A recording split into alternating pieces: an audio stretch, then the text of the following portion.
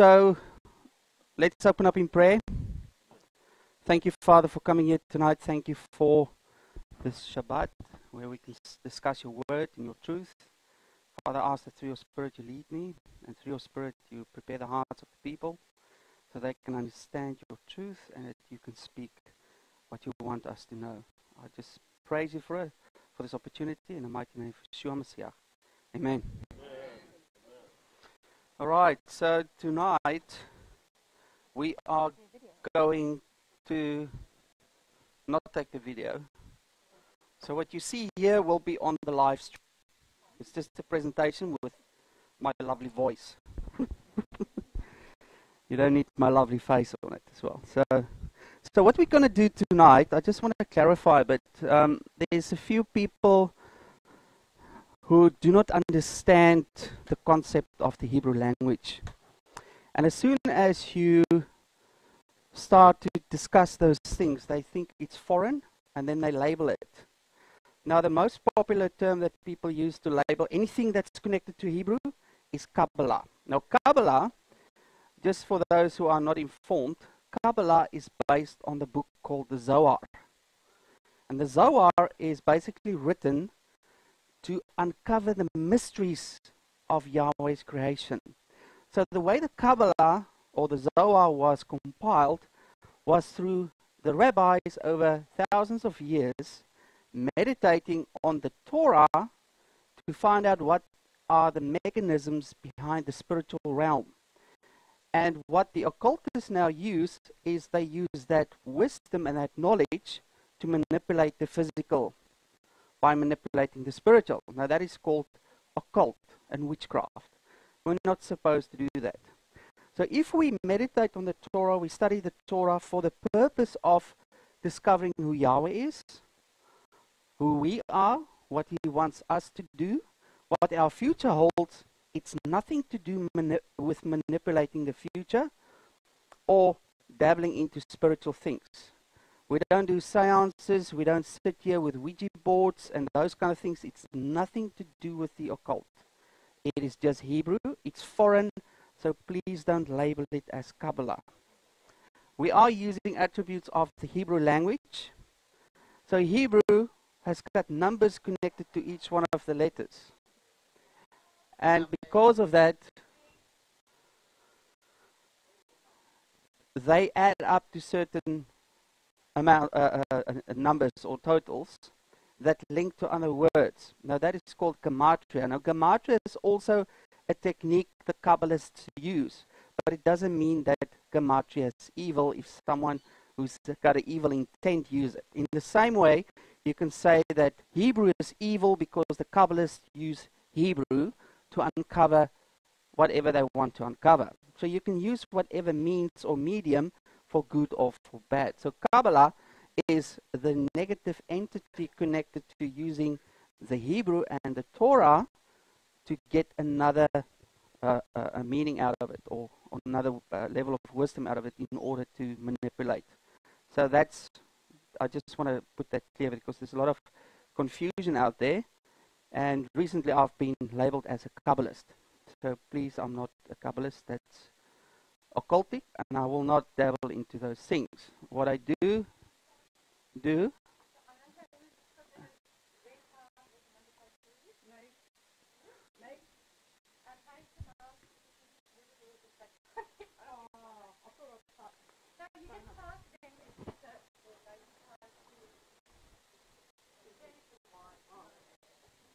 All right, so I'll continue a little bit with this before we start.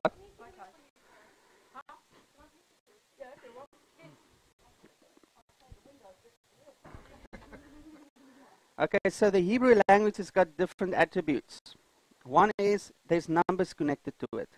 We connect numbers with numbers, it's called Hebrew poetry, or you connect thoughts. It's just the way the word works, it's the way our mind works. Our mind works with pictures. The word works with pictures, it's full of symbolism and little word pictures. Even the historical events are little stories with messages in them that can be depicted as a little picture. And the reason why Yahweh chose to work with pictures because we're like children and we love pictures. And now if we look at a picture, we understand what it was trying to say. And the other thing is, if you look at a picture, it tells a thousand words. So we don't have to explain things when you can see it in the form of illustration. That's why I use a lot of symbolism illustration, because that's what I translate from the symbolism of Scripture into that. So it's not evil. It's just the way Hebrew works. The other interesting thing about Hebrew is there's no vowels in the Torah scrolls.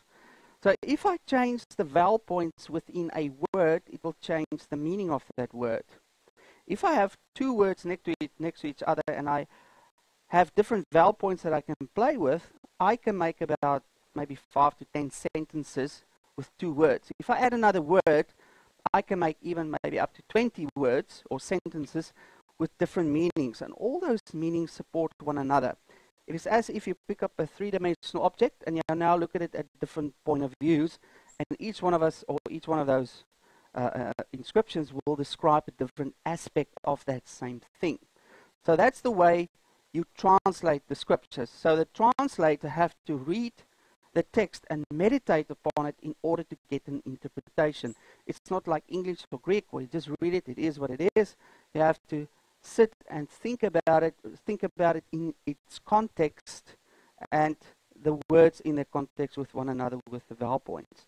Now, if you're familiar with Hebrew, you speak Hebrew, the process is easier for you to understand. But unfortunately, we come from a Western mindset, so there's a lot of misinterpretation for people who try to translate it.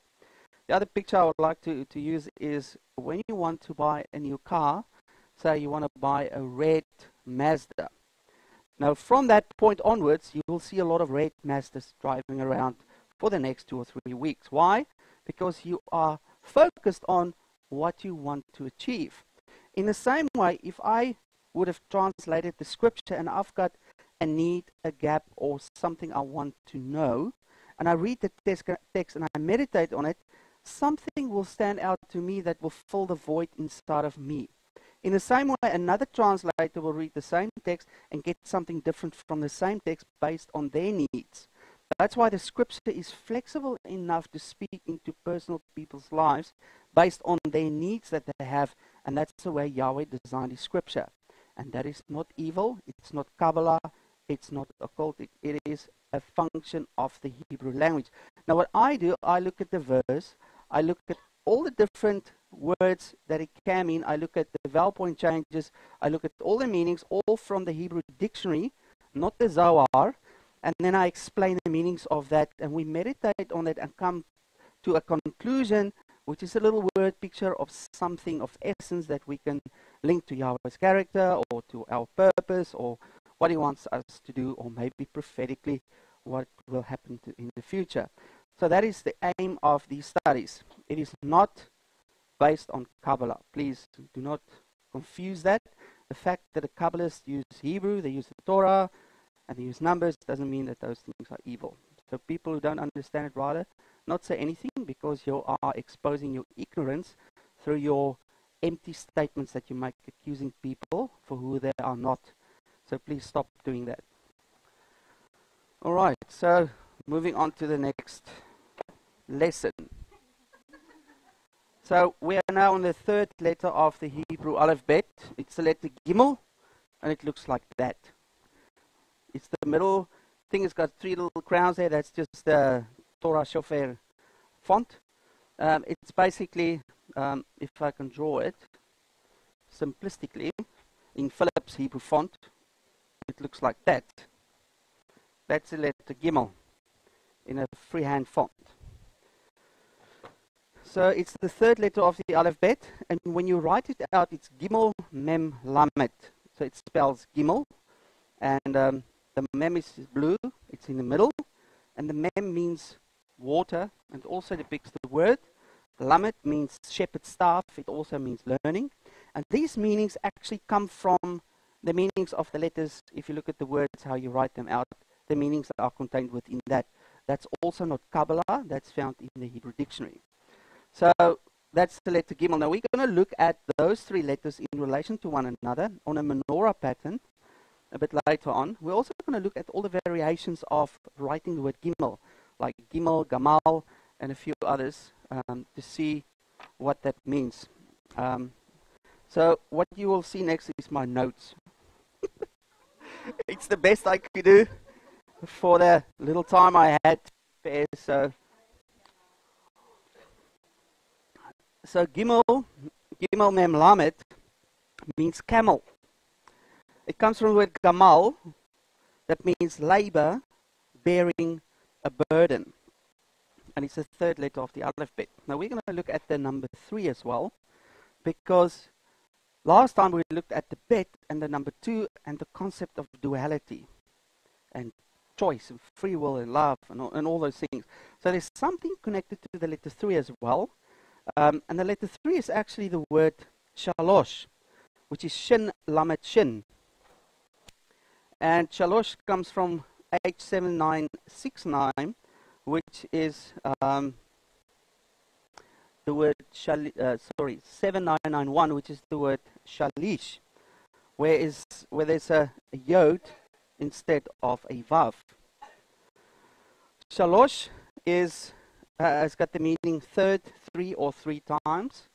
So that's connected to um, repetition. And in basic terms, the number three means covenant. Now we're going to look a bit more in the number three relating to scripture to see if that is so. So there's some interesting things we're going to learn about the number three. So shalish, if you insert the letter yod, is a musical instrument like a triangle or a string three, uh, uh, three string lute. Um, it also means great measure, uh, a general of the third rank, and it also means prince. So now we see that the number three is connected to a authority. It's a general of a high rank, and it's also connected to a musical instrument. Like the person that's in authority is going to be worshipped or praised. So that's the connection we can make with that. Where the word shalosh, uh, shalish is found is in First Chronicles 11, verse 11 to 12. And the context is of David's army where 300 men were slain by Joshbeam. Ah, sorry, Dashubim. He was the chief. Oh, let me just get the next one. Oh, sorry, I got my wrong. Um,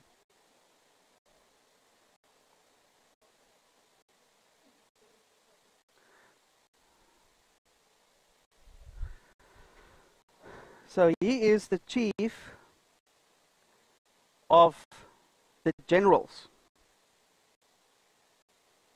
where's my notes now? Sorry.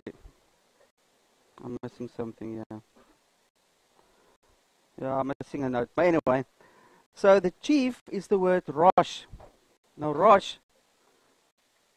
is what we normally write like that. That's a resh and it means head. And in this case, it's called chief. So he was the chief of the generals. Now, general is the word shalish, uh, shalush, which is connected to the number three. So from that, we see um, the concept of the chief of the captains, of the chief of the generals, and also the concept of a king of kings or a lord of lords. So it's a concept of an authority figure that is higher than other authority figures. And that's a term that is used to describe the Messiah, Yeshua. He is the King of Kings and he's the Lord of Lords. So when we look at the number three, now this is not in the notes, is the term Elohim. We know that Yeshua is God or he is Elohim. Now, Elohim has three distinct meanings. The first meaning is servant and messenger. The second one is judge, and the third one is king. So there we get the number three again connected to one entity that is known as a authority figure who is known as Elohim, who is above other authority figures. So that's why Yeshua is the prince of peace, or the prince of the generals, or the uh, chief of the generals in this sense. And they slain 300 men. So that's the number three again. And it's connected to someone who is, uh, or an enemy that is defeated.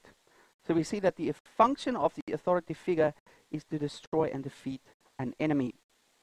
So that's also what's connected to the number three. So what we learn now from the number three, not only is it connected to the Gimel, it's connected to an authority figure that's higher than another authority figure who's got the purpose of destroying his enemies. So he's like a king who's got an army. So, where am I now? Oh, that's the next note. So Shalush, which means three, is first used in scripture in Genesis 5.22, where Methuselah was 300 when he begot sons and daughters. Now, this is a very interesting concept. We get a person whose age is 300, also connected to this authority figure with this purpose, but he now has an offspring, and that's exactly what we saw with the meaning of gamal. Bearing a burden or to bear or to labor is also a term for a woman in labor and to bear children into the world. Now we see the camel is pregnant, bearing children into the world, or the gimel is connected to that. And the number three supports that by showing us that the number 300, where this three is found, is connected to a person that will bring forth sons and daughters, or that concept of an offspring. Now his name, um, Methuselah, is Memtet uh, sorry, mem, which is the word math, that means adult man or mature man, and it also means to extend. So if there's an adult man, he normally contains seed, and that's why he can have an offspring bearing sons and daughters, or bringing forth sons and daughters. So that's the, the, the math. Then there's a letter Vav in the middle, which is the connecting letter, connects the two words. And the Vav is also a term for man, or uh, uh, humanity. And then we get the word shelach at the end, which is shin lamet chet. Now, shelach means missile of attack. So now we see the king, whose purpose it is to destroy the enemy, has got missiles. now, the missile of attack is through shooting an arrow or throwing a spear, or in modern days, actually shooting a missile.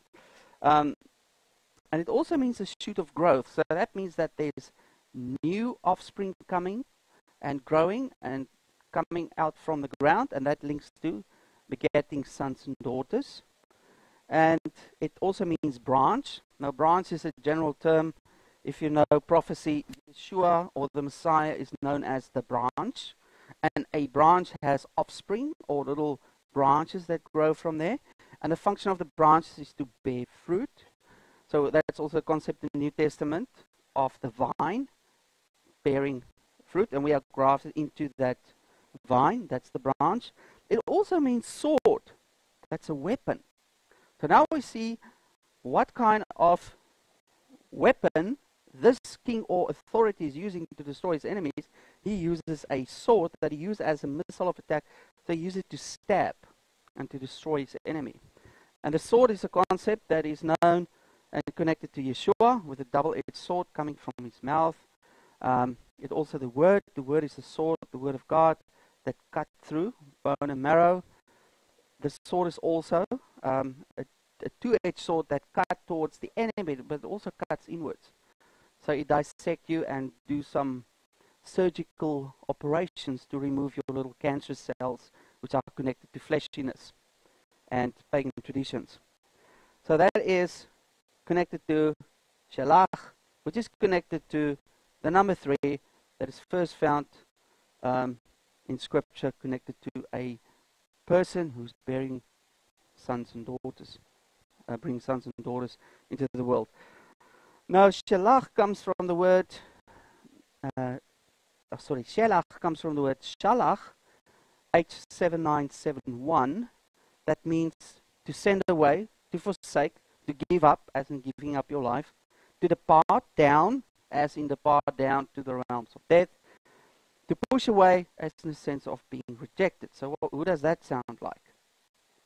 That sounds like Yeshua's first coming as the suffering servant and the messenger, all those meanings are connected to him. Shelach, all those meanings are connected to him in, as in the second coming, where he is the king on the white horse with a sword in his hand, or the sword coming from his mouth, ready to destroy his enemies. Who is he? He is the Rosh, or the head of the, the, the, the uh, uh, generals, as we saw with the meaning of Shalish, which is the word uh, three, or the root word, uh, or the word that comes from the word three, which is Shalosh.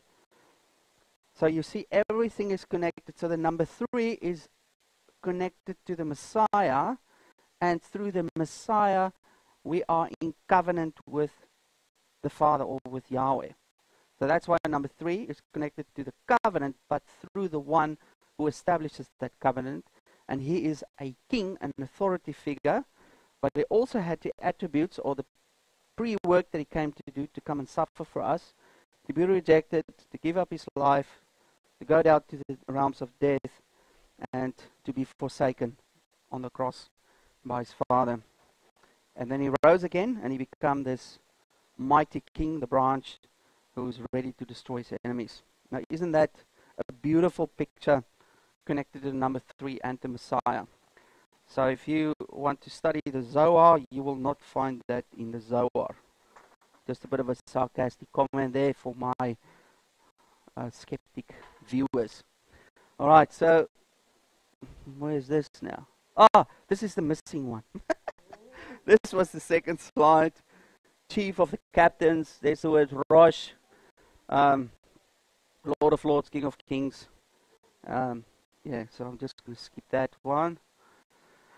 Okay, now we're going to look at. We just looked at the number three. This whole thing is mixed up. I think my slides broke. Let me rather follow my notes and I'll just skip to the right page. Otherwise, I'm going to just miss the point here. Okay, so we just finished the number three. Yeah, we're actually on this page now, which is the bottom part of Shelach and Methuselah. So Methuselah is a picture of the Messiah called the branch, and he has a sword coming, proceeding from his mouth. That is mean his second coming. And as I said, second, uh, first coming, he was rejected um, and was uh, he gave up his life and he entered into the grave. Number three, associated with the Messiah Yeshua, who is the head of his body, and his body is are the sons and daughters that were brought forth. That's connected to the number three that we saw with Methuselah.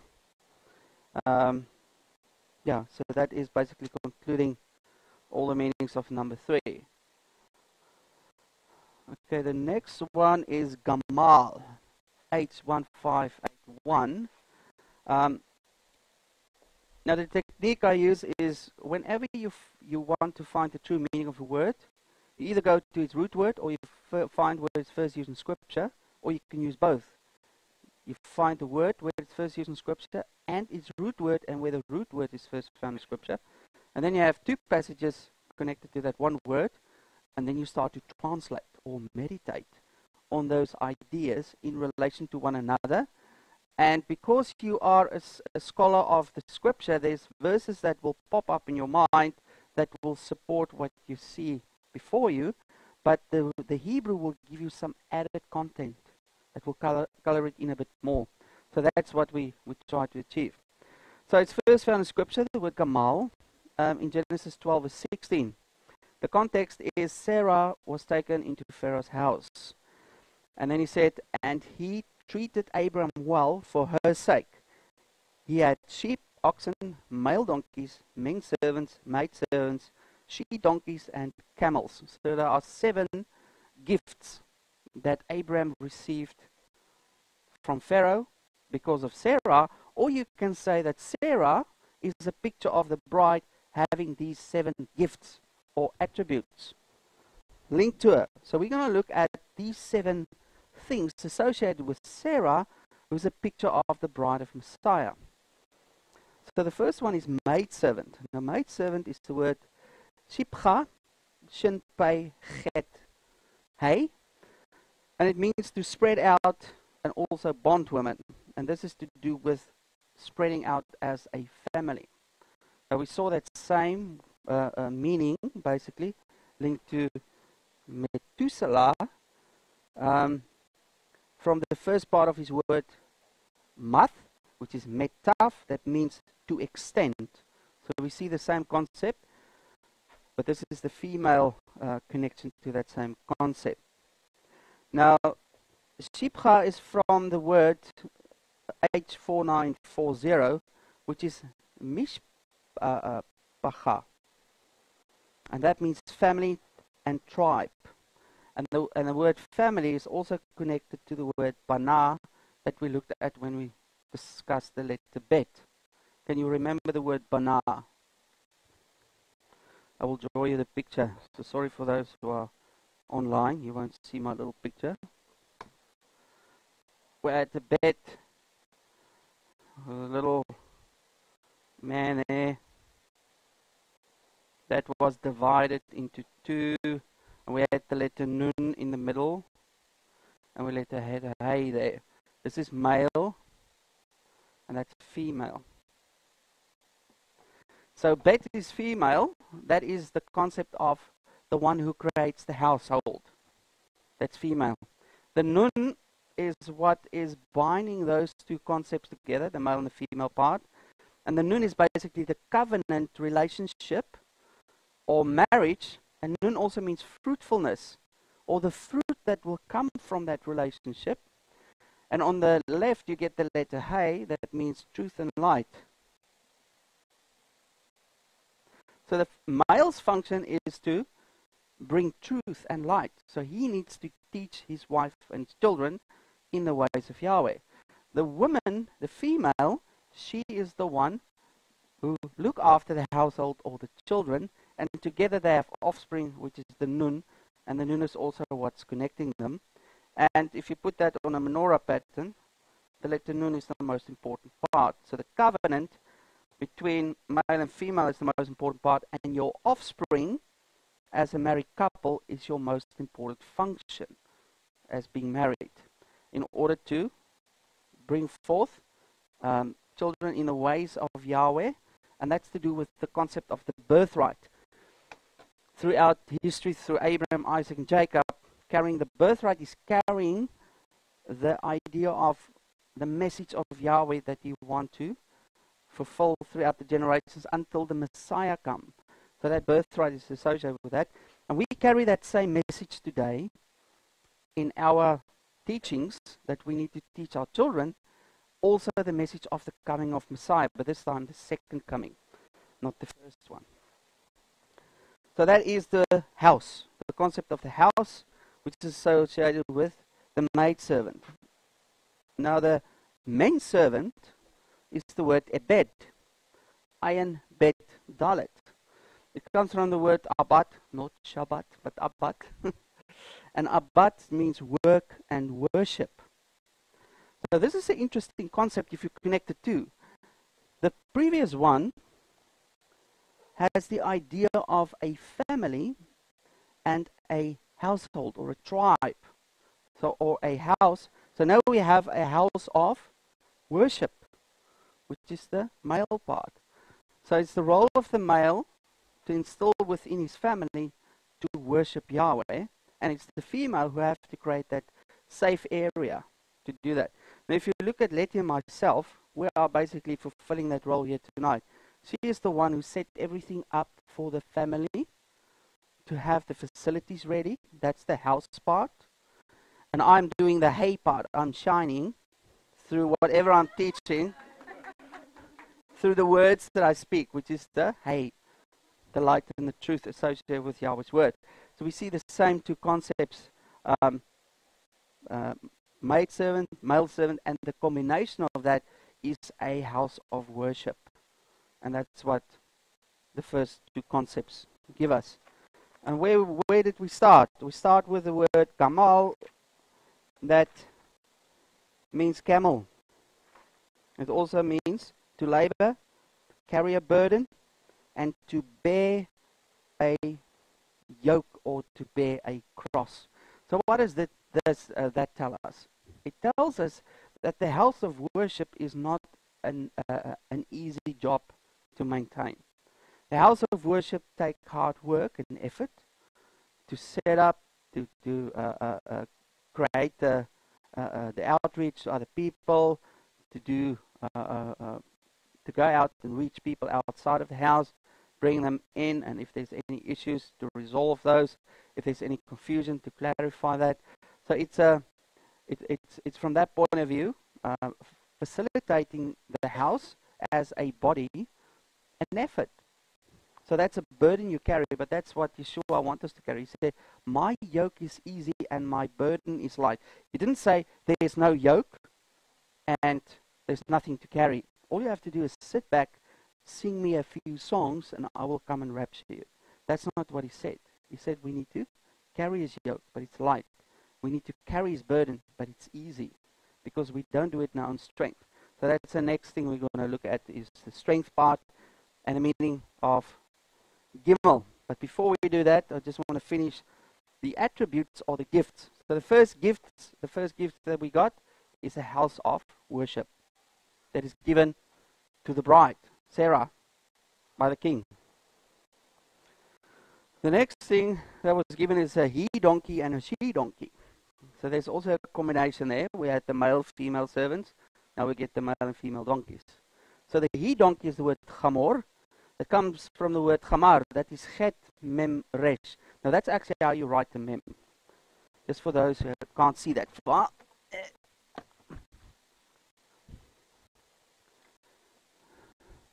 Now a mem looks like that. so I'm trying to clean up my fonts. I usually did that or whatever. That's also beautiful mem. That's my own. um, so that's chamor. The chamor means trouble, to boil, to seal up, to cover and be red. So if you sit in a boil, pot that's boiling, you will turn red. That's the idea. And that means it's not an easy place to be. It's a place of trouble. So what is this trouble all about? Where this word is first found in Scripture is in Exodus 2 verse 3 where he said, where the Scriptures say, she made an ark of bulrushes and daubed, uh, daubed it, which is the word chamor, oh, sorry, chamar, with slime and pitch. And that was made for Moses. So Moses' mother made him a little ark. Just like Noah built a little ark or big ark. Um, and the context is salvation in the time of trouble. Because the king was out there to kill Moses. His mother made him an ark with a covering to protect him during the time of trouble. And the time of trouble is the time of judgment or, or persecution. Now, in the time of Mo, uh, Noah, Noah built an ark. He covered it with pitch because that's a symbol of salvation in a time of trouble or a time of judgment. So, what has the pitch to do with anything? Now, pitch has got another meaning. I'm going to give you another word for pitch. Now, I'm going to see if you can read this. I'm going to write it in Hebrew.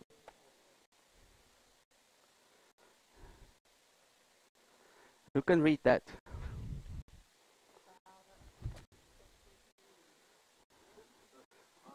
What, what's that first letter? There's a chet, yep. Yeah? Yeah, nun sofit. So what does it spell?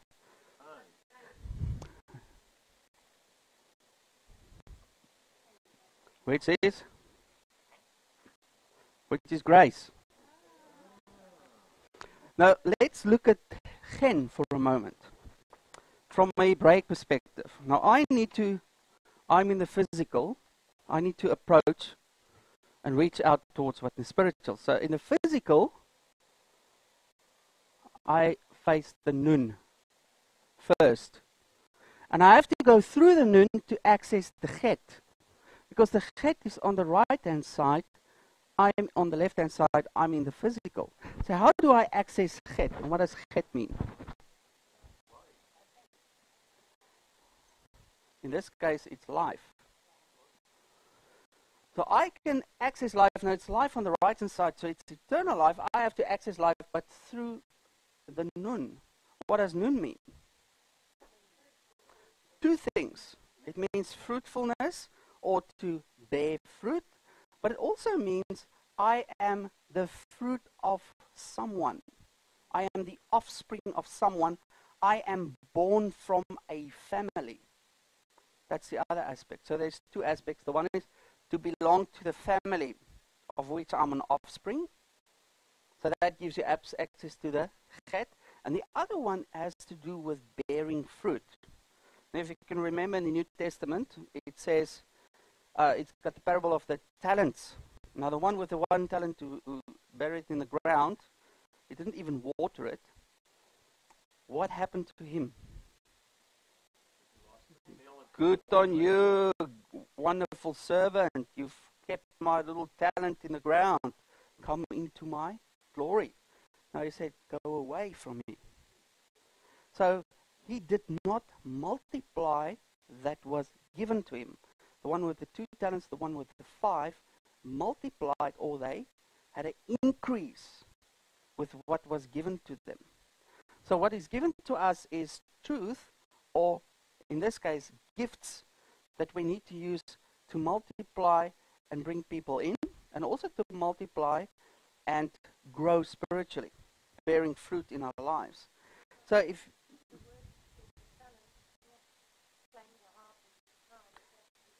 yeah, it's it's what you do with the truth.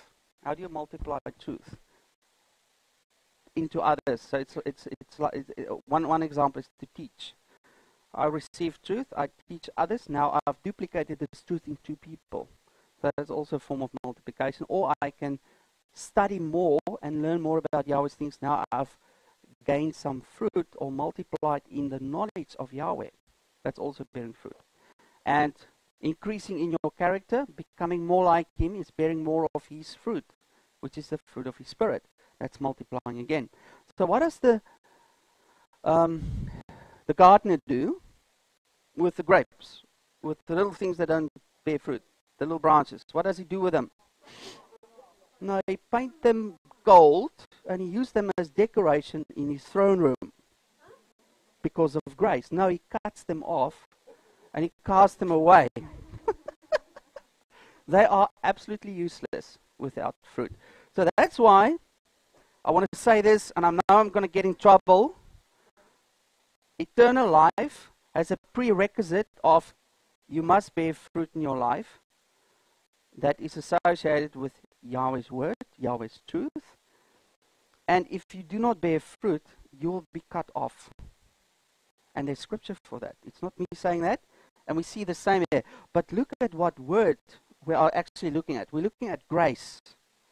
Now, grace has got a prerequisite to access what grace is all about, which is eternal life. Grace is not free, grace is not cheap. And that's what we saw with this. It's it's troublesome, there's persecution, there's things coming, and with the previous word we also saw it's a burden, it's a yoke, it's something you carry. That sometimes is difficult. It's sometimes difficult to walk in this life trying to walk in Yahweh's ways. People will always find fault with you. Why? because there are faults in them they want to hide by pointing the finger at you. So if someone accuses you, you know, and they accuse you a lot of, of a lot of things, you know, there's a lot of things wrong with that poor person accusing you. If they find one thing wrong in me, I know there's one thing wrong in that other person. Because, now that's my own little analogy. Just in the scale of, of balance. So, where was I? Moses had the little ark, and it was for his salvation in a time of trouble, and that covering. Now, I'm going to use the same analogy of grace. If you can look at the ark of Noah, which part of the ark can you say is connected to grace? Yeah, we've got the wooden construction. That house It's probably have a roof that's got protection. What will keep this boat afloat? The pitch. So the pitch is the most important thing of the boat. But do you need only pitch? I can give you a drum of pitch, but you will sink if you hold on to that. You will definitely drown because it's heavy. You need to apply to something else in order to give it its essence. So if I can explain grace as the pitch, because we are saved by grace, we're actually saved by the covering, which is the word uh, keeper, where Yom Kippur comes from, Day of Atonement or Day of Covering. And the covering was by the blood, and the blood is something you apply, just like pitch. So grace is something you apply, just like the pitch is applied to the boat. But pitch in itself doesn't mean anything unless you apply it. And the boat is the mechanism of salvation. So I can have the mechanism of salvation. What's that? It's the word. All the things Yahweh will teach me about his character, what he wants me to do, the gifts, how to work in the in the kingdom, within the body, that's the boat. That's a vehicle for carrying something from one place to another. So the body of Messiah is carrying from one place to another, and the word of Yahweh gives us the instruction on how to do that effectively and in love and not to kill one another. But we still need to apply the covering. So without the covering, doing all the works inside the body means nothing. It's only the covering that's safe, but it's a collective thing. You need both. So you need to have the fruit that's associated with the body and all the things that happen within the body to access life, and also the covering, which is the blood of Messiah. So that's just a little derail onto that. Now, she donkey is the word aton, which is aleph, taf, vav, nun. Aton um, is she donkey. It comes from the word etan, or some people can uh, uh, pronounce it Ethan. That's also a name. Etan. So if you've got a, a boy that's name is Ethan, it means she donkey. girly, girly name. Anyway. so Ethan just have a a vav, a chayot, instead of the vav uh, between the the aleph and the taf. Now, etan means ever flowing stream. And it also means strength, mighty, and strong. So this is the other concept that I want to underline here is that we have salvation in a time of trouble, but you need strength and an ever flowing stream in order to survive the time of trouble. Remember, the donkey is connected to the donkey, and the maidservant is connected to the male servant. So these two can't stand by themselves. So we do have salvation, we have covering, and we have um, a time of trouble. But within that, we need the ever flowing stream, and we need strength and be mighty and strong, courageous and strong. So, what is the ever flowing stream? What does that represent? And where's living waters found in Scripture?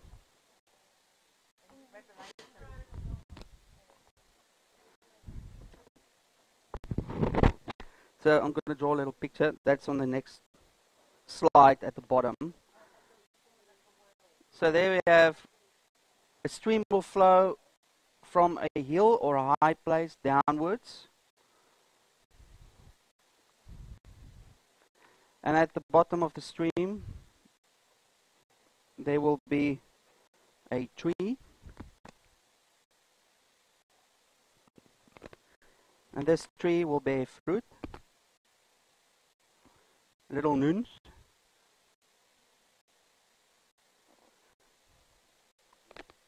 And if this tree is seen from a distance, it will look like the tree shining. Yeah? That, I think that's what the tree of life is. That's the letter Hey. The the stream is the is the letter. Oh no, now I can't even make my own mem. that's my old mem And on top of the stream, we get the symbol of strength, which is the aleph that means ox. It also means yod hey vav. So the aleph is a symbol of strength. So we get the strength and the ever-flowing stream. And putting it all together, we get the word aleph. Then we got a mem. Then we got a nun. And then we get a hey. And that makes the word amuna. That means faith and truth. So now we see from the he donkey, the he donkey, we get the concept of what is described in Psalm 1. His word is like a stream of living water flowing directly from Yahweh, and the tree feeds from that stream and bear fruit. And that is what faith is about. So now we see that in order to survive the time of trouble, you have to have faith. Now, faith now has two components. The one is strength, the one is the stream, or the one is the ox, which is the aleph, that's Yahweh's strength. The other one is Yahweh's word, which is the mem. So I need his hand in my life, and that's what I saw when you look at Ethan, where we had a little yod in there, which is a symbol of the hand of Yah, Yahweh, that's now been inserted into this word. So it's his hand that will give you that strength and his word. So we survive this time of trouble through his spirit and his word. Not only the spirit, not only the word, but both. And that's a problem that I see with the two extremes. And I'm talking now about my Jewish brothers on the one hand, they only go towards the word. And then my Christian brothers, who are to the extreme, they only want the Spirit. They don't want word because they say, um, nobody has to teach me anything because the Spirit will reveal everything to me.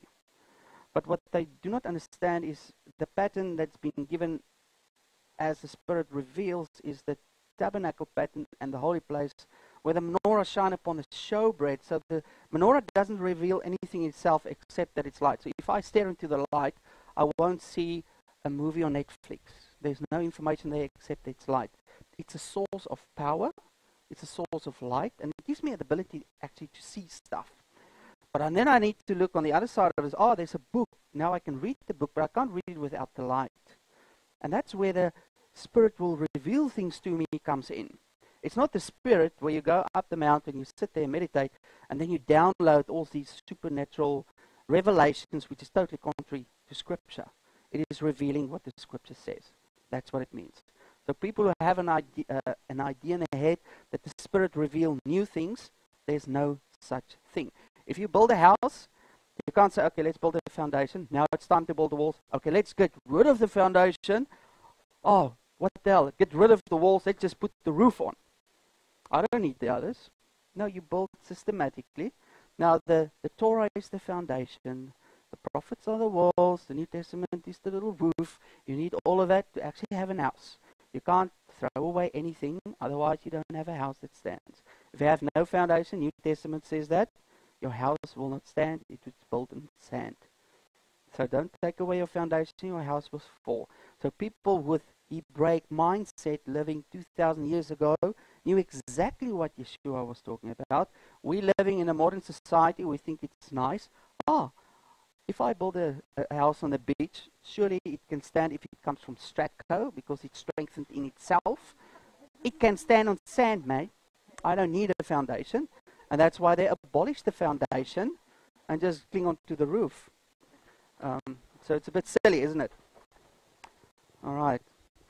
So what we see from the he donkey and the she donkey is time of trouble, salvation, and we got the strength of the spirit and the Word of God, that's a continual, ever flowing stream. It never stops. So that means that you will never, ever, ever, ever stop learning. You will never stop growing. If you stop growing, you're like a tree, then you're busy dying. So you should always grow. How do I grow? I ask Yahweh, show me what is wrong with me. Help me to understand. I'm confused with this. reveal this to me. Always asking questions. Not be satisfied sitting on the bench. I'm right, everybody else is wrong. And then you take time out of your day to go and dissect someone else's life to point to them how wrong they are. But we're not supposed to look at other people and show them that, that they are wrong. That's the Holy Spirit's work. You need to look into yourself. You are the, the project that you need to work on. Leave other people alone. Yahweh will deal with them, and it's those people's responsibility to have a relationship with Yahweh to sort them out. If they're off the rails, pray for them. Don't sit there and dissect and publish. All right. So I'm saying this specifically for people who are very outspoken. All right, next one, oxen. So we got oxen, camels. So the oxen and the camels are also linked. Oxen is the word bakar, bet kof resh. Now this is an interesting thing that I saw um, on the bus today when I drove, traveled back on the bus home. The word bakar is actually a process as well.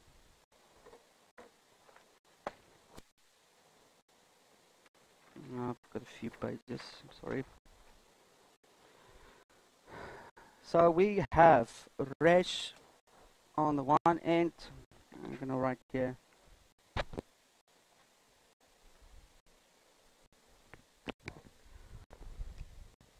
And then we have a kuf, which is the letter Q. And then I have the letter bet on the right hand side. Bet, kuf. Gee, that was nearly. Good catch. And resh.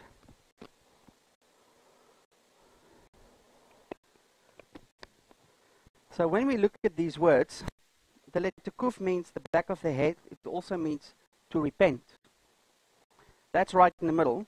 If I put that on the menorah pattern, it's the most important thing. It's to repent. The house of Yahweh can also be seen as a kingdom. And the kingdom has a city and a temple, which is a house with people and a king.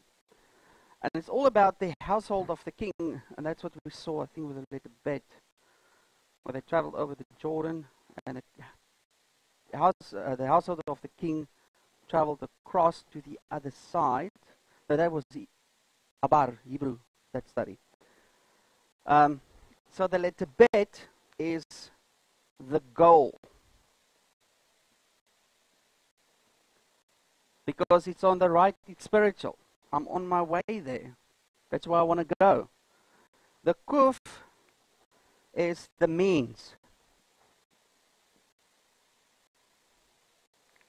And that is repentance.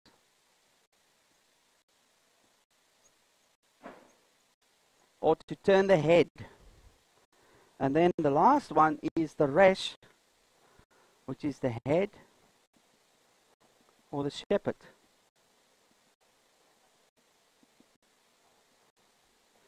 So, and this basically, all of this is the gospel message. What is the gospel message? Repent, for the kingdom of Yahweh is at hand. Repent, for the house hold of the king, or the house is at hand for entering into the house. And who is preaching that? The shepherd. He was the one preaching that message of repentance. And that is what we see with the word for oxen or bakar. So oxen represent the gospel message. Now, if you look at the primitive root of bakar, which is also pronounced bakar, probably bakar, and bakar, um, means to inquire, to seek, and to search. So they who seek the kingdom will find it. Because that is the goal. They who seek to enter into the house of Yahweh will enter eventually. Because the shepherd, the resh, will make sure that they will enter. But there's a prerequisite or a process that need to happen before you can enter. So it's not a free ride. Oh, I know the I know the guy at the gate. He will let me in. It's like uh, going to a, a disco or I don't know what place they go. There's a little, there's a big bouncer at the at the gate, but you have to pay. But if you know him, you can go in. It's not like that. Even if you know the Messiah and you refuse to repent, you can't enter the house. Where's the scripture in the New Testament that tells us that? Lord, Lord, we've done great things in your name. We cast out demons. We've done this, that, and the other. And he said, Go away from me. I do not know you, which is a term for intimacy. I've got no relationship with you. You workers of lawlessness. You've got no structure in you. How do I get structure?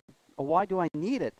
I need to stand it to be measured against to say, listen, boy, you can't carry on do this. Why not?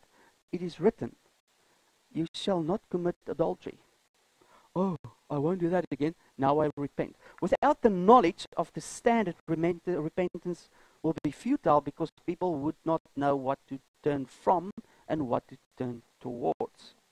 That's why the commandments still stand because it's just the standard. It doesn't mean that the standard will get you in. You need the shepherd as well. So only through repentance, having the word won't get you into the house. You need to know the, the guy at the gate, which is Yeshua. But only knowing Yeshua without knowing the standard and repenting won't get you in. You need both. That's why the word and Yeshua will allow you into the household. Same picture, same principle. And that concept I would like to call balanced truth. Truth doesn't stand on one leg. You can't say, ah, because of his blood, I'm saved. No, that's standing on one leg making a statement. You have to have the full gospel message. Repent, for the kingdom is at hand. Who is saying that? The Messiah. Ah, I'm going to follow the Messiah. I'm going to accept his sacrifice. Now I've got a full picture. Now I've got the, the balanced truth regarding what is required for salvation. It's not only one, it's not only the other, it's both. Interesting, the word search is also found in scripture is the word derosh.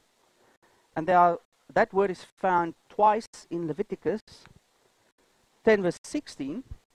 And those two words, if you count the first five books of the Bible, you count all the letters you divide, all the words, you divide it into two, you'll end up right in the middle of those two words, which is Darosh Darash. There's an equal number of words from there to the end of the Torah, and there's an equal number of words, uh, uh, or, or, the same amount of uh, number of words from there to the beginning of Genesis. So it's the center of the Torah or the heart of the Torah, what it is all about. And Darosh Darash is translated as certainly search. Keep on searching. What did the Bereans do? They searched the scripture daily to see if what Uncle Paul said is the truth. Can we just take Uncle Paul's writings blindly without balancing it out, trying to interpret it the way he intended it? Now we need to search the scripture to interpret Paul's writings. They tested Paul back in the day. Yes, Paul was talking the truth now. Now we need to test Paul's uh, translation to see if it is still Paul's words. And how do we know that? Paul was teaching from the Tanakh. Everything in the Old Testament was his foundation he stood upon when he preached, revealing the Messiah, revealing the covering, revealing grace on the basis of the foundation he stood on. So if we don't have the foundation, you will interpret Paul's writings the way you want it to sound, and you will not have a balanced truth. So people need to have a full understanding of the whole of Scripture in order to accurately interpret Paul's writings. Because that's where Paul was coming from. All right, so what is in Leviticus 10 verse 16? It says, Moses searched No, this is nonsense. I think that's Genesis. Moses didn't search a goat. Does, do someone have a scripture there? I think I got the the wrong reference. No, no, this is Leviticus. I think this is the one. No, it is this one. Just check Leviticus 10:16 quickly. 10:16, yeah.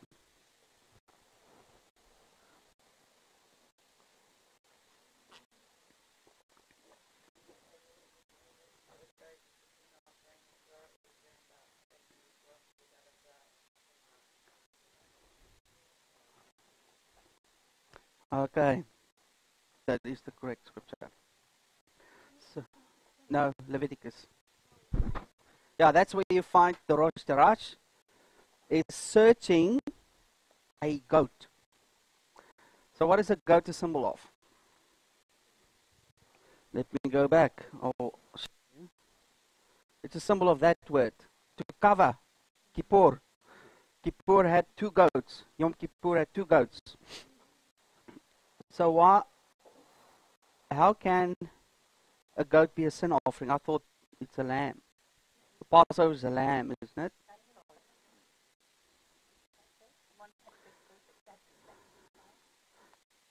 The goat is a male sin offering. A, a, a, a sheep sin offering is always female, even though the Passover lamb is male. So there was an argument by our Jewish brothers how can Yeshua be a sin offering because the sheep is female? It's because it's not the sheep, my friend, it's a goat. It's Yom Kippur's offering that through the menorah pattern is linked to Passover and unleavened bread. Through the menorah pattern. So the work that is done on the cross, linking to Passover, sacrifice of the lamb, is automatically linked to the two goats. Where the one is the scapegoat, taking the sin away of the world, and the other one is taking sin upon himself. So those two components of the Lamb of God is the Passover lamb, taking away the sin of the world, and being the sin offering is the Passover lamb and the two goats, all connected into one, and that's what John the Baptist revealed to us, knowing the festivals. So searching, certainly searching the goat is certainly searching the Messiah, who is my salvation in a time of trouble. That is what they were searching. And this goat is a sin offering, that's the male goat of Yom Kippur. And that's what Darosh Darash is. So the whole of Leviticus, and actually the whole of the Torah, Leviticus is the middle book. And everything in Leviticus points to this sin offering, who is the Messiah. And the whole Torah points to the same thing, which is the sin offering, which is the work of the Messiah. So all of Scripture links to that, and not only that, it's in the center of the Torah or the heart of the Father. And John 3:16 says, "He loved man's uh, uh, for God so loved the world that He gave His only begotten Son or goat for sin offering." Can you can also use the, that wording because that also is in the heart of the Father. So that is linked to bakar. It's in, in Afrikaans, you get the word bekeer. that means to become born again. And that's where I think that comes from. It has to do with repentance, faith in Messiah, entering the household. Okay, camels. Camels, Gamal, bear a burden to labor. And this is a picture of the Spirit of Yahweh giving you strength. Now, previously I uh, talked about the Spirit having different attributes. Can you remember them? There were three previous ones, and I did tell you about the Gimel as well. Who can remember? Spirit of truth, which is which one? So we have the truth, the Spirit of truth, and that's the letter Hay.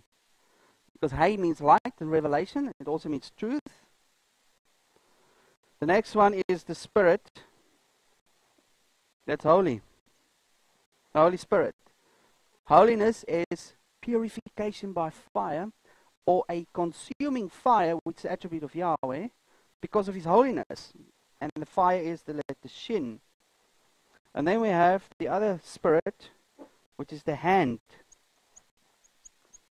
which is the letter Yod. The invisible hand, the helping hand, the hand and strengthened, strengthening that we saw here. And now we have the spirit that strengthens and also carry. And that is the Gimel. So those are the four attributes or roles of Yahweh Spirit. So it's not only the Holy Spirit. So if people just refer to Yahweh Spirit as the Holy Spirit, it's only one aspect of it. Spirit of truth reveals. The Holy Spirit's function is to make you holy. The hand of the Spirit is to help you to sort out your life. And the strength one is to carry you and give you strength in, during, specifically during the time of trouble. Um, and that's also associated with the ever flowing stream. All right, so Gamal, um, Gimel is from the word Gamal. That's a primary root that means benefit, um, treat someone well or treat someone ill. So you can treat someone good or bad. To ripen, to wean, a reward, to yield, and to be bountiful. So yielding as we saw previously, is to do with the letter Nun. Yield is bearing fruit. Bountiful is bearing a lot of fruit. Ripen is also linked to fruit. Um, to wean has to do with the fruit of your body as a human. That's a baby. Reward is basically what you get if you work hard and plant it. Now you have your reward through your harvest. And then the one that's uh, interesting is to treat someone well or to treat someone ill. So this word gamal is first found in Scripture, Genesis 21, verse 8. And that says, um, well, the context is where Isaac was weaned, the day Isaac was weaned. I don't know how old he was. But on that day, they held a feast or they had a celebration because of this event. But the same day, Ishmael was cast away or cut off with his mother Hagar. So now we see there's a feast day. The one gets treated well, and the other one was treated ill. And then there's a separation happening. What does that sound like? It sounds like the day of judgment to me. Because the day of judgment will be on a feast day. There will be celebration for the ones who are accepted. They are the ones who we yield a bountiful number of fruit. And in the opposite, I can say those who do not bear fruit will be separated and cut off with their mother. And who is their mother? In Revelation is revealed as Babylon. She's the mother of harlots.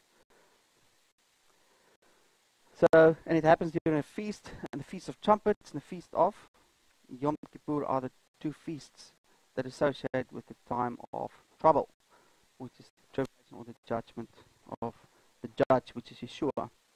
So the day of the Lord that you read in the Old Testament is actually the day of Yeshua, because He is the one who is the judge, not the Father. And He is the one who will come and judge the nations. Unto Him is given the authority to judge. So we only think he's the good guy. The father is the angry one, want to kill kill you because you're doing something wrong. He's going to judge you. But it's actually Yeshua who's the judge, and he's the savior as well, and he's the king who will rule. So all of those attributes are equated to or linked to Yeshua. Okay, so I've got a little picture here that just picture that. So I've got Sarah on the one side, which is a bond woman, which is Shipcha, that's the word for bond woman, and Hagar is a bond servant called Amah. So there's two words associated to the two women.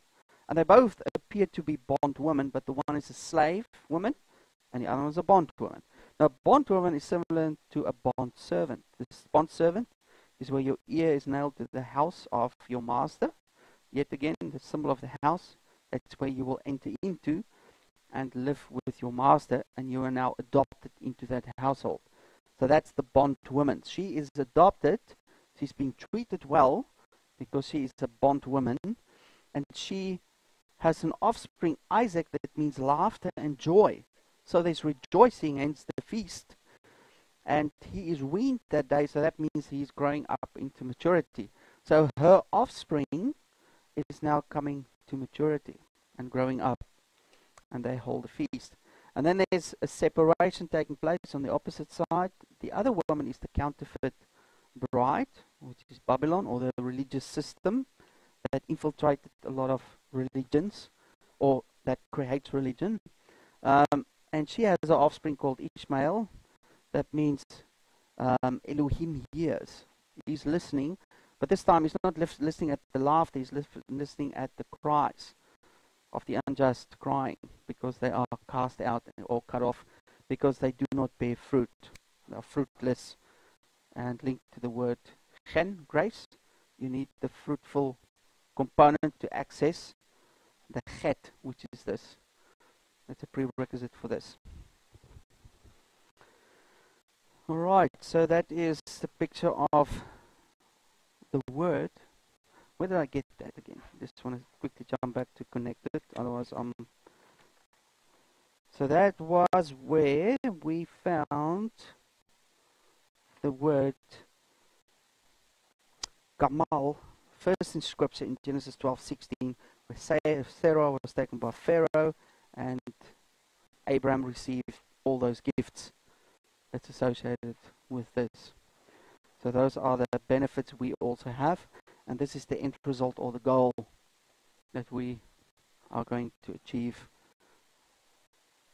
if we partake in the processes that um, has to do with repentance, the continual flowing stream, certainly searching or continuous searching, that I can bear fruit and be fruitful and have offspring of my own.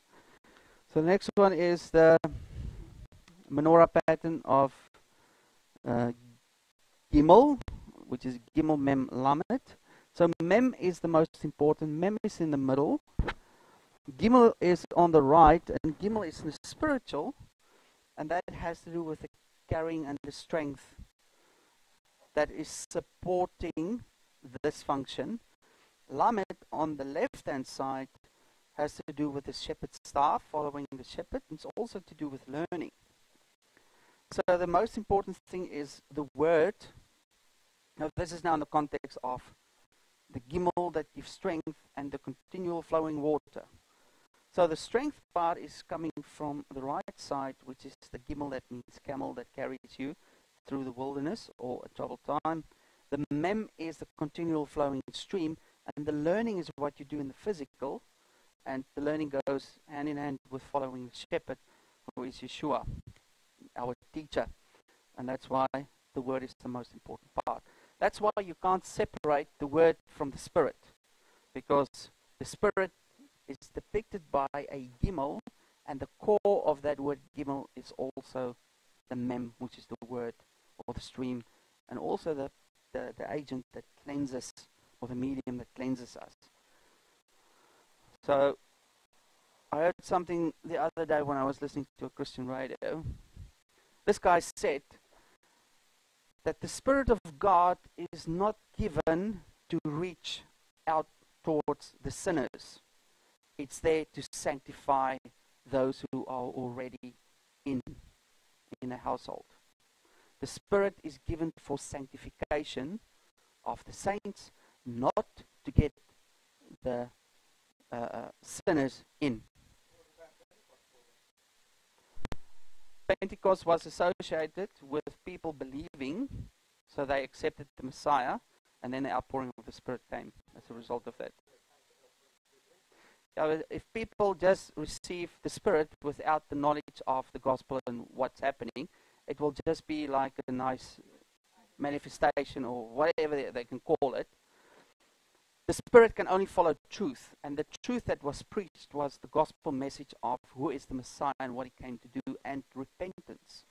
And those who believe, they receive the outpouring of the Spirit, which was the next step, which is sanctification. I'm not saying that the Spirit doesn't work within people, but it, work, it works from the outside in. But once you receive the Spirit inside of you, it's for sanctification. That's the main function, as we saw here. All right, so let's move on. We're going to look at the transition when we started with Aleph, Bet, Gimel. Last time we looked at Aleph, Bet, which made the word Av, or Father, which is the first and second word. Now we're going to look at the second and the third word, which is Bet, Gimel, which makes the word Bug, or Bag. what does Bag mean? Let's see. Um, bug or bag means spoil, booty, or a reward. So the picture we see is we had the Aleph. In Bereshit, it was a hidden Aleph, but this case it's actually a, a solid Aleph, which is depicting Yahweh. Then it is the house of the Father. And if you connect those two, you get the word Father. And proceeding from this house came a camel, or the gimel, going into the wilderness to fulfill a certain function. What does that camel has to do? What, what's the function of the camel? It is to bring a spoil back or a booty back or a reward back into the house. If I can describe it in the sense of catching fish, it's the net that's being cast out. The function of the net is to bring the spoil or the booty in. So the function of the camel being sent out into the wilderness is to bring people back with him. So that's also the symbol of the camels that was given, or the camels that was uh, watered at the, at, the, at the well where Isaac's wife was chosen. That's connected to a camel. And she was the chosen one because she was prepared to water the camels. Now, the camel is the means of carrying someone into the house. And that's why it's associated with carrying a yoke, bearing a burden, being an effort. It takes an effort to work with people, to talk to people, to try and break through to them. Don't you understand the work of the Messiah or this or that or the other? And you can go on in circles and people will argue about it. It's a hard process to get those people to get on the camel, and walk into the house. They want to kick and scream and want to take something along or want to hold on to something um, that's still fixed in this world and they can't really move on. So the function of the camel is the function of the net, and that is to bring people in. And that's the function of Yahweh's Spirit as well, because He goes out and following the message, He will work within the people, strengthen them, give them that continual stream which is the core function of the word, learning, giving them strength, and then they will follow him back into the house. So that is what the second and the third letter teach us. Now the word bag, bag, let's rather say bag, is found in first found in Ezekiel 25 7, where Yahweh stretched out his hand against Ammon. Um, why did he do it? I didn't have it there. Anyway, he stretched out his hand against Ammon.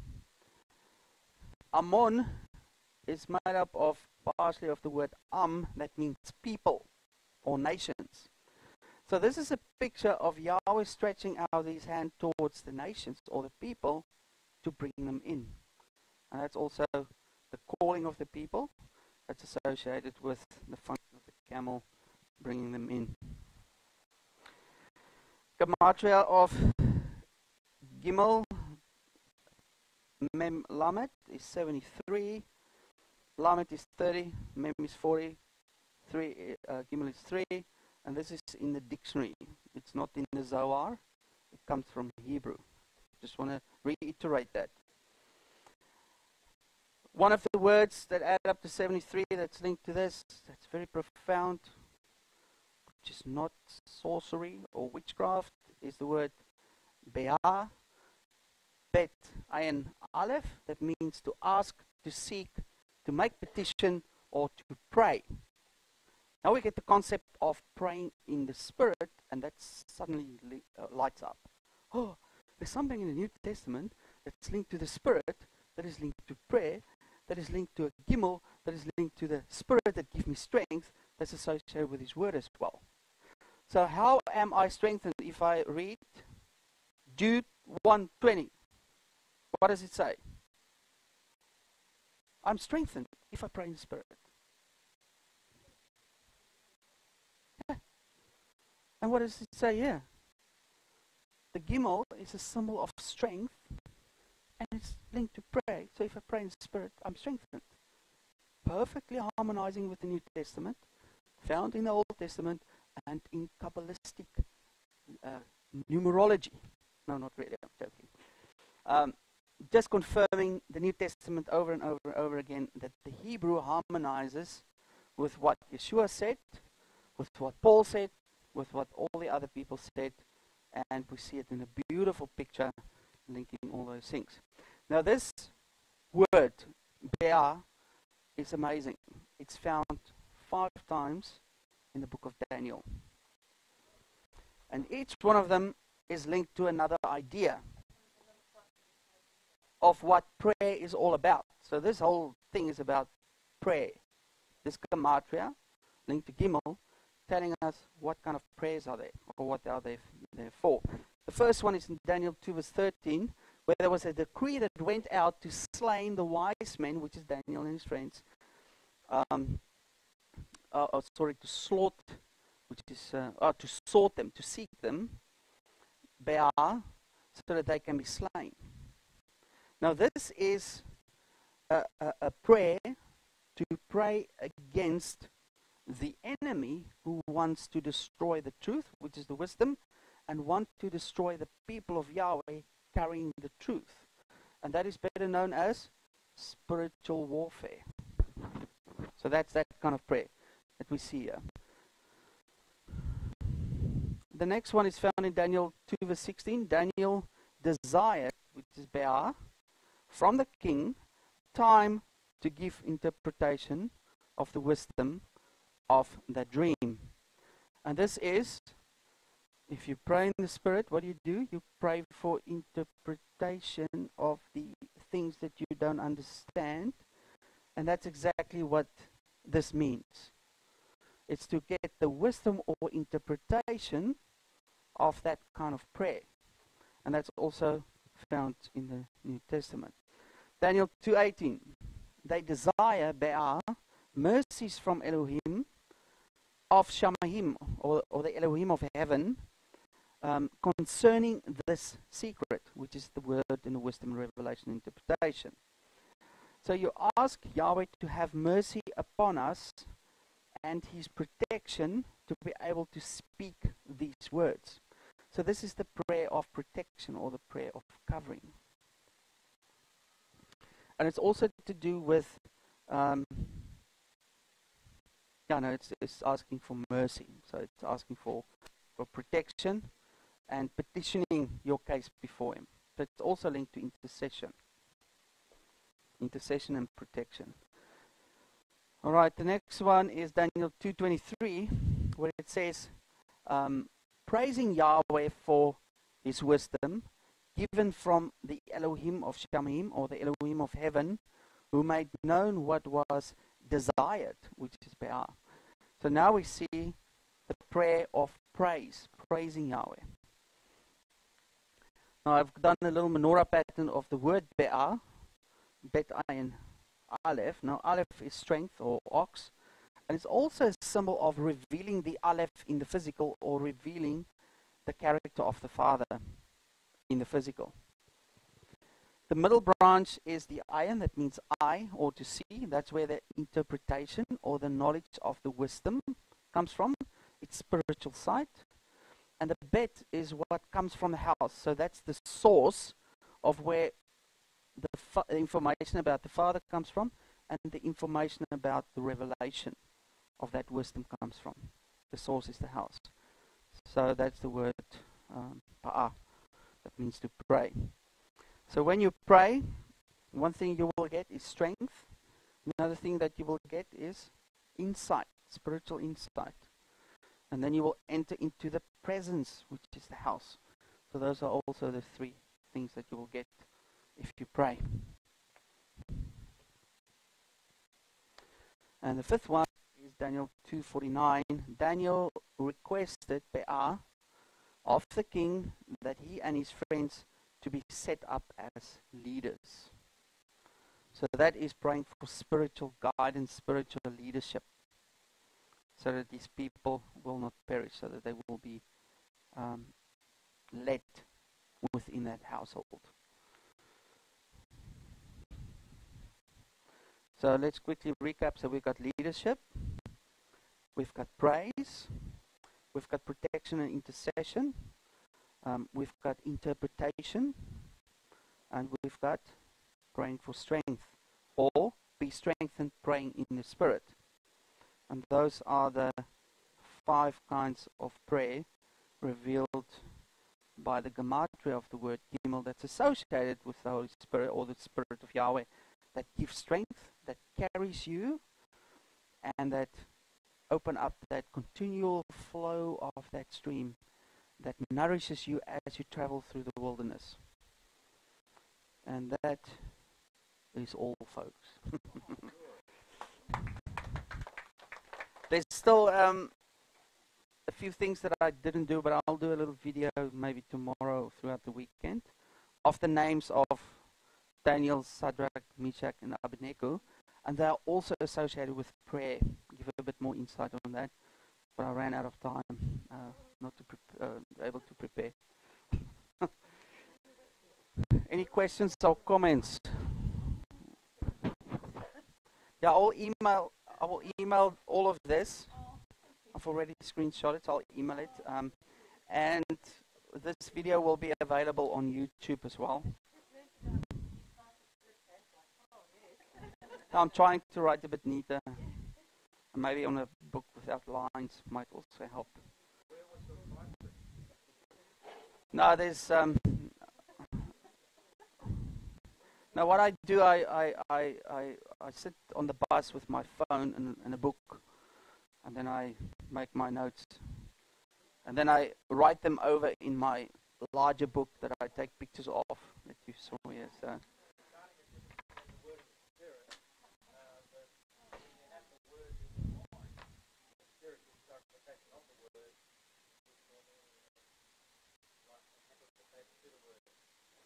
Yeah. Yeah, the spirit cannot be separated from the word, and the word will not have its depth and its essence without interpretation of his spirit. His spirit gives life. It's that water that cleanses and nourishes. It's that aspect of his spirit that's in conjunction with his word that just brings it all to life. Rhema, yeah. Yeah, logos is the written word, rhema is the revealed word but it's both the same thing. Yeah. Yeah. But the one is enlightened. And also personified. So if you read something that means something to you, it's the spirit that quickens it or reveals it to you personally. Or it can be something that is on a deeper level of revelation, which might be pertaining to end times or his character or whatever. So there's different levels of of Rhema. Yeah. And just a quick thing on the on the word. The word or words is one of the mediums that Yahweh chose to recreate and to create with. So he spoke everything into existence and he's still speaking things into recreation or into restoration. So if we refuse any of the words that's been written, that's now been spoken, we will not be recreated. That's why it's very dangerous. And there's two passages that warns us against taking away from Scripture, adding to Scripture. If you take away from Scripture, your name will be taken out of the book of life. If you add to the Scripture, there will be plagues added to you in the time of judgment. So please don't touch His word, taking out pages metaphorically, saying, ah, oh, this is rubbish, that's old, I don't want this don't like, oh, I like this one. It's got a lot of blessings in there. I want that. There's money in there. I want this one. Uh, health. I want this one.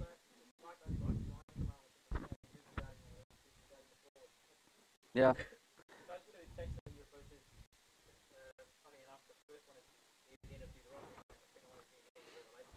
Yeah, that's right. That's right. Yeah, so treat the words of Yahweh with respect. Do not take away, do not add. By adding to the word is people's own little interpretation, doctrine thingy that's hanging there on one leg, on the side. It's not really confirmed scripture. It's an idea that's loosely linked to a passage somewhere. Um, or it's just truth that stands on one leg. You know, very hard emphasized. This is it, nothing else. Um, that's not balanced truth, and you will fall over. So, be careful on how you treat the word, because it's all about your restoration, and you will limit the work that He wants to do in you if you limit the amount of words that you are receiving from Him. But I want to absorb everything from Genesis to the last sentence of Revelation. Everything I just want to absorb because that will be my total restoration. And that will elevate me, like that last prayer, to be a leader one day during a thousand years so that I can rule over nations with him. I'm not the one that's going to be the least who spoke against the commandments. I'm going to be greatest because I'm going to teach his commandments. I'm not going to be there sweeping, washing toilets in the New Jerusalem. I'm going to rule over nations in the New Jerusalem. So that's the reward I want. That's my aspirational target. Not there yet. Uh, I'm aiming for the top. I might end up in the middle, middle ground there. We, we're not all perfect, especially me. Yeah. All right. So, say again. Yep.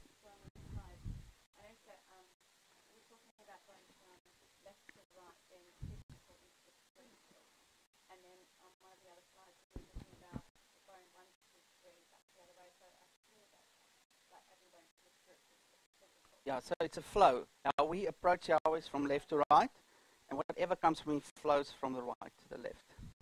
So it's a two-way relationship. Yeah. Yeah. Right. Okay, I'll just pray, and then we can. Uh, no, we just want to close off, and then we can have prayer requests. Thank you, Father, for your word and your truth. Thank you for just getting so much from one letter, just getting so much from a number, getting so much from a few passages linked together, giving us a beautiful picture. Thank you, Father, we can join those things together and just see the, the work and the purpose, the processes and the things that's important to you. To put together the puzzle pieces on the intent of your scripture, harmonizing with the rest of scripture, not canceling out, not uh, giving a new idea, but just supporting what's already there. Father, I just want to speak life over people I have been speaking death, specifically over your word and over what I'm trying to, to achieve. Father, I just ask that you bless them. I just ask that you give them a, a revelation so that they can have insights that not even I understand, that you will bless them so much with insight so they can know you better. And I ask, Father, that you be with us all whenever we go through a time of trouble, a time of tribulation, a time of persecution, that we will have strength because we've got this continual stream that's flowing from you, from your word and your spirit that gives us strength, continually strength, strengthening us and carrying us through these hard times. Father, you know everybody that sit here has got something that they go through, some difficult time that they go through, some challenge that they face. Not each, uh, not not uh, any one of us are uh, uh, free from any of that, Father. I just ask your strength of your spirit. I just speak life over those situations. And I just ask that you reveal yourself to us within each of those situations in a powerful way. Because you are inside of that. You're behind those things. And you will reveal yourself to us if we look for you in the midst of these troubled times. Father, I thank you for allowing us to have that understanding. We thank you that we can uh, discuss your word and that you allow us to apply that those words to our lives so we can be restored into your image and eventually back into your kingdom, into your household. I just give you praises and I give you glory in the mighty name of Yeshua Mashiach. Amen.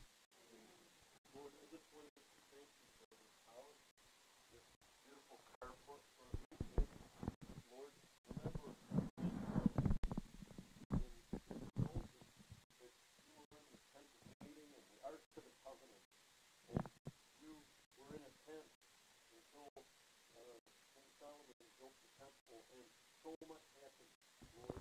Lord, enjoy your hand. Uh, thank you, Lord. And so many blessings and so much for you to Israel, God. And I want to thank and bless Philip and Letty for sharing their home with us tonight. And bless everyone here tonight, Lord. We ask the blessing for coming and learning your word, Lord. Thank you, Lord. In Yeshua's mighty name, amen.